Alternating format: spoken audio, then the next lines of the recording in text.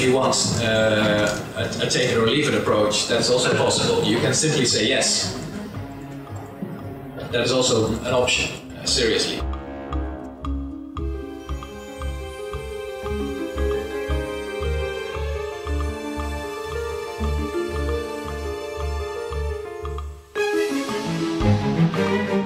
The way in which I see things unraveling is that there will be a run on the banks, which has obviously already started.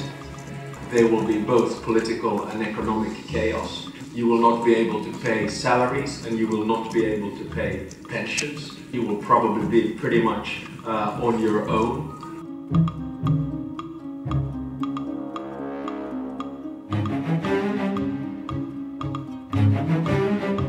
The comment on leaks.